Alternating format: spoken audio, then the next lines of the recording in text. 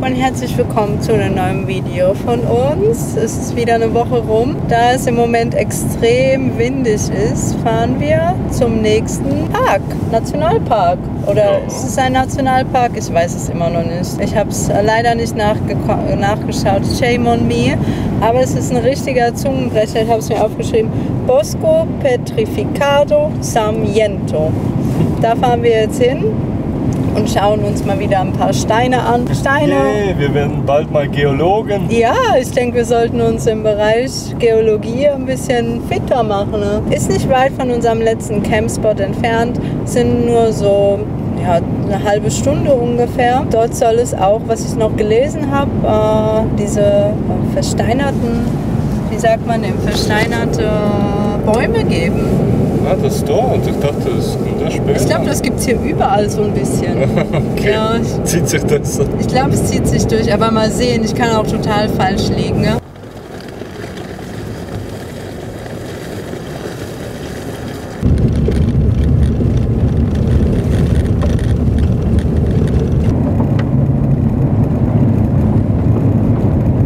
Müssen ja fast Deutsche sein. Nee, Franzosen. Wow, das ist mal ein Truck, ha? Also, falls ihr so Trucks liebt, eins Camionette for Cool Kids. Mann, die Südamerika äh, Landkarte hätte bei uns auf dem Auto gar keinen Platz.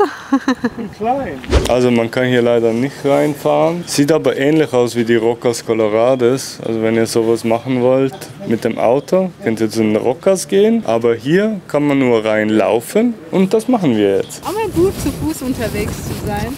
Mal was anderes. Sitzen wir ja immer nur im Auto.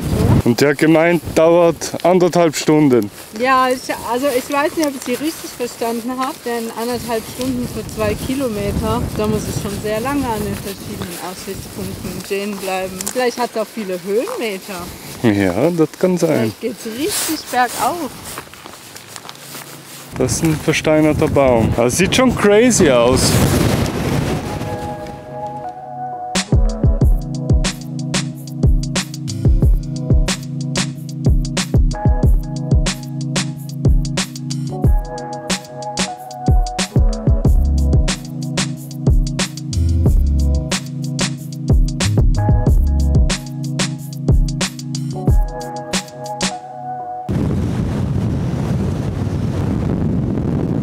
Ades Valley war vor 90 Millionen Jahren eigentlich ein, ein Wald mit Palmen, Regenwald. Dinosauriern. So soll es ausgesehen haben und das ist daraus geworden.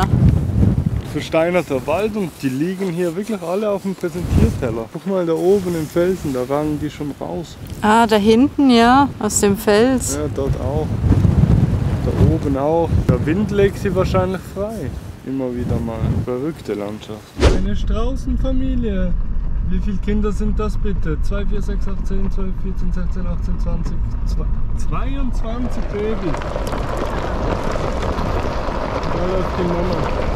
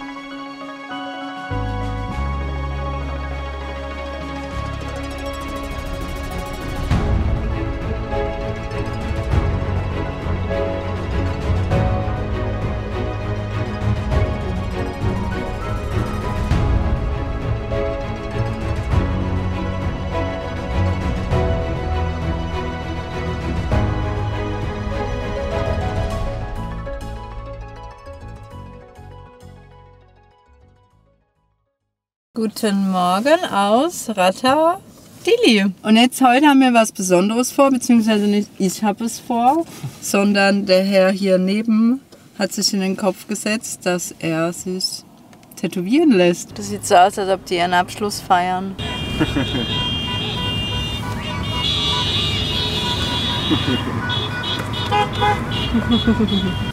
okay, here we go. Das ist, äh, glaube ich, ein privates Zuhause, ha? Sieht vertrauenswürdig Ah, nein, da vorne ist er. In dem Haus drin. Let's see. Let's see. Three, two, one. Anywhere I'm at, turn the city up. I could flip a dollar to a million. I don't like to brag, but I'm really on. Three, two, one. Anywhere I'm at, turn the city up. Three, two, one. I don't like to brag, but I'm really on. It's a new day, day's been new. Been a decade since I made it out of rental.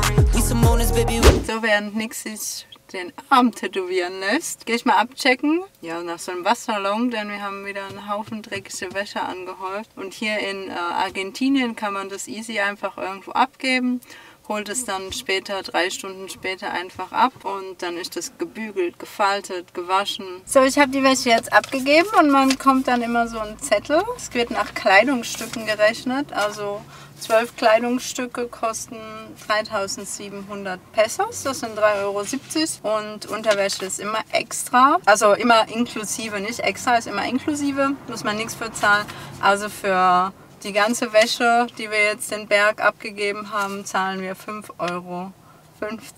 Ja, das ist den Aufwand wirklich nicht wert, selber zu waschen. So, dann gehen wir mal schauen, wie weit die Jungs sind mit dem Tattoo. Und wie fühlst du dich? Nur hier so am Unterarm ist ein bisschen unangenehm. Hm, okay. Ich glaube, hier wird dann am schlimmsten. Uh, tomorrow finish the, the, the line and the line here. Gerade der, der Stopper. Ja. Yes. Wegen dir müssen wir noch einen Tag bleiben. ja, einen Tag noch. Einen Tag noch. Richtig eingepackt. Morgen nochmal und dann fertig und dann können wir weitergehen. Schaut mal diesen Overlander aus Ecuador. Richtig nice. Mit der kannst du auch viel Spaß im Gelände haben. Der hat ordentlich Kanister dabei. Richtig nice. Und zwar sind wir wieder zurück in Radatili. Und voilà. Jeden Monat, einmal im Monat sollte man mal duschen. Ist einfach viel zu windig für unsere Außendusche. Deshalb hat uns der Surfer das hier empfohlen. Das ist ein Hostel. Mega süß gemacht, mega rein, gründlich sauber, perfekt für 1000 Pesos. Sabrina ist jetzt schon drin, die duscht jetzt. Ich chill hier noch ein bisschen am Auto und dann kann ich auch mal duschen gehen. Look who's washed again und back. Finally! Finally. Schon gut, so eine Eine richtige Dusche, ja. richtige Dusche ohne Wind und Duschen ohne Kampf, das ist ist geil. halt geil, ja. Und mal in äh, vier Wänden. Ne? Das haben wir vorher gar nie ausprobiert. Wir haben nie an Hostels gedacht, aber eigentlich gerade dort kannst du äh, am besten nachfragen. Ja. Ne? Also Tipp an euch, wenn ihr irgendwo unterwegs seid und Kein duschen Bock auf wollt. Campingplatz. Und auf dem Camp. Normalerweise haben wir immer Campingplätze angesteuert zum Duschen. Aber eigentlich macht so ein Hostel viel mehr Sinn. Ein Campingplatz ist auch viel teurer als mal so 1000 Pesos, ein Euro zum Duschen.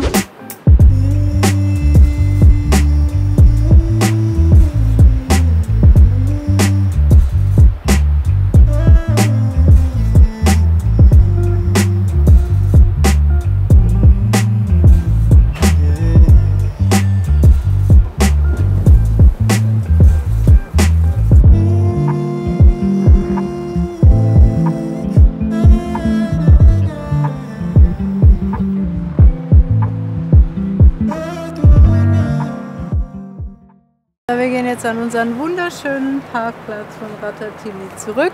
Der also am Ende super. von der Straße, da wo niemand ist. Wir haben da mega gut geschlafen. Und Ohne mal- Wind. Ohne Wind. Das ist vor allen Dingen der Direkt Hauptgrund, warum wir schlafen, weil es keinen Wind hat hier in dieser Bucht. Aber es ist direkt am Beach, kann man lassen. Und morgen Tattoo fertig und dann weiter Richtung Süden. geht's los Richtung Süden. Oh, ich freue mich schon. Aber es waren entspannte drei Tage, die wir jetzt hier verbracht haben. Einen wunderschönen guten Morgen aus Radatili. Heute ist unser letzter Tag leider hier, aber ultra nice. Heute machen wir noch das äh, kurz das Tattoo fertig und dann geht es weiter Richtung Süden. Und wir haben sogar noch entdeckt, dass wir eine öffentliche Toilette haben. Leider haben wir das erst heute entdeckt. Da hätte man nicht im Hostel duschen müssen. Aber hier wäre die Dusche. Eigentlich ultra chillig, aber guck mal die Toilette. Toilette, Türe.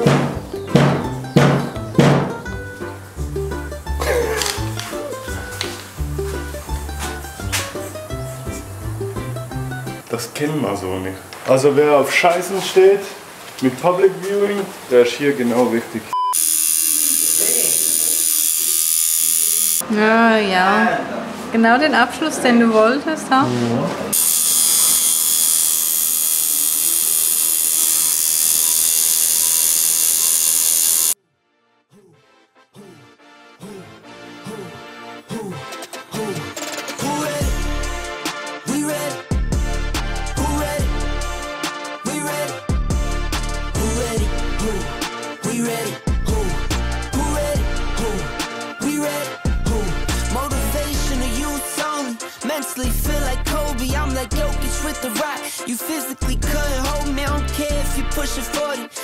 never little bro me. Euro step like Ginobili from young OG to the OG. From nosebleeds to floor seats. Sind gerade mitten in der Walachei. Da ist nichts um uns rum. Und wir suchen einen Stellplatz. Und ich glaube, Sabrina hat was gefunden. Und da hinten geht es genauso weiter. Ultra nice. Ja, und hier werden wir schlafen die Nacht. Was sieht geil aus, das Auto mit dem Himmel da. Richtig fresh. Oh, oh, kriegen wir Ärger jetzt?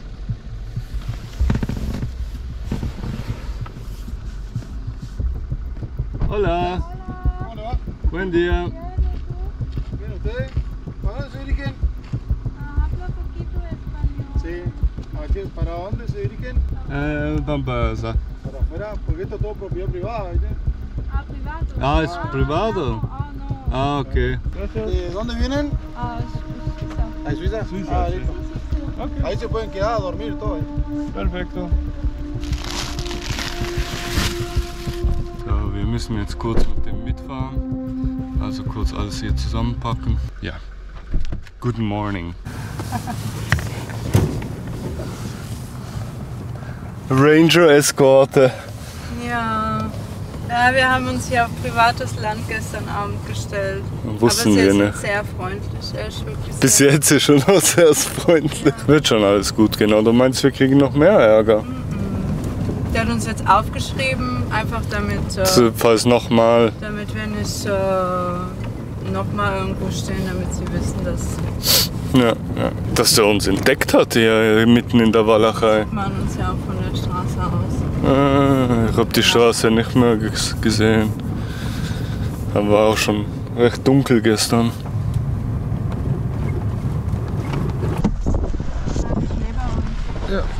Lo siento, eh?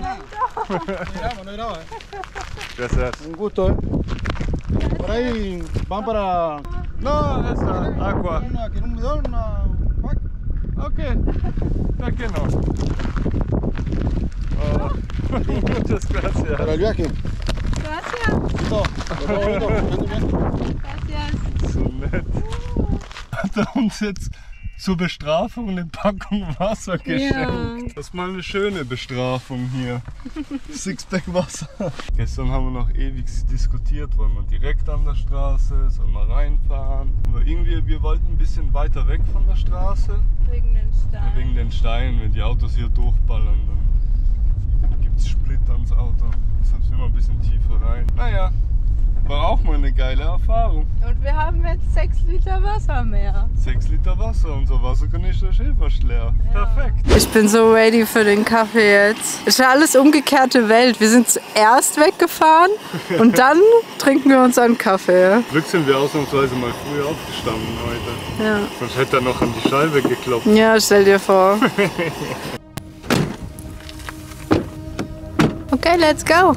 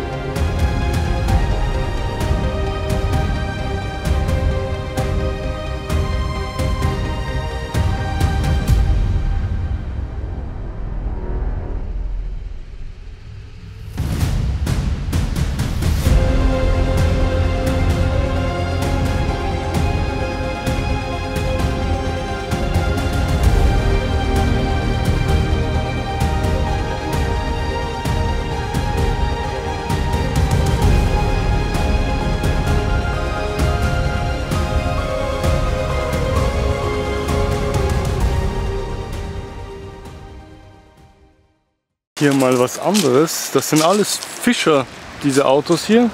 Da ist niemand da. Die sind alle mit den Booten raus. Das Auto da und das da vorne auch. Das sind so Bootsanhänger. Das heißt, die legen hier ab, fahren raus zum Fischen. Aber für uns geht es weiter auf der Zwischenroute. Ist immer das gleiche. Diese Route 3 ist so langweilig. Und dann fährst du einmal links oder rechts ab und dann wird es gleich interessant. Ich mache heute einen auf Koch. Und zwar gibt es Bier mit Bier. Nein, aber das Bier ist richtig geil. Aber die Einheimischen mögen das gar Nee, nicht. Die, sagen, das ist totaler Müll. Die sagen, das ist Dreck. Ja. Ich wollte euch mal was zeigen. Das ist unsere erste Pfanne, die wir gekauft haben. Damals noch mit dem Mercedes und Dachzelt. Das Ding ist immer noch top, sieht scheiße aus, funktioniert super. Richtig geiles Teil. Decathlon. Decathlon, hat nichts gekostet. Hat wirklich zweimal nichts gekostet. Dann dachten wir, ah, wir brauchen auch was Fancyes, Teures. Hier kostet irgendwie 80 Euro. Guck mal das an. Und das ist jetzt nur von Offroad-Piste fahren. Das ist nicht mehr rund. Seid ihr bestimmt da reingewogen. Gib's zu, du hast wieder mit Ja, Gewalt genau. gedrückt. Warte, ich drück das jetzt mal raus.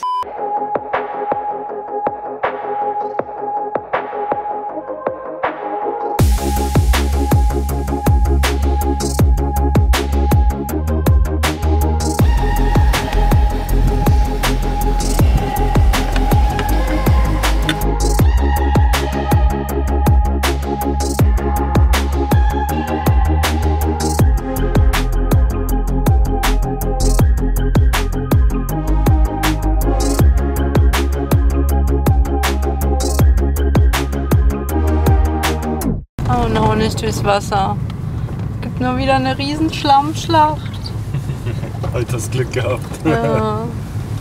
Wasserfahren macht echt Spaß, aber die Scheiße danach sauber machen, gar keinen Bock.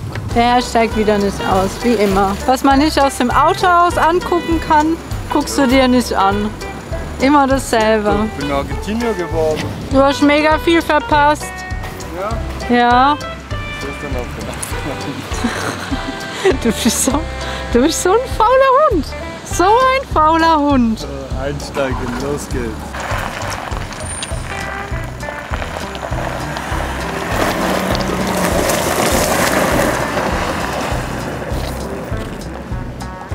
Wenn ihr euch fragt, wie wir die Videos immer machen, er fährt vor und dann fährt er rückwärts. Was steht da drauf?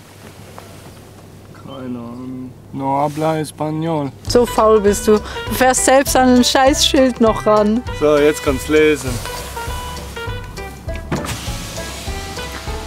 Kannst du noch mal ein bisschen näher fahren? Ich kann's nicht. Ich habe schlechte Augen. Die kennen nix. Die spielen Volleyball und ich sitze hier einfach mit einer Wintermütze. Aber brutal schön da. Schau dir das mal an.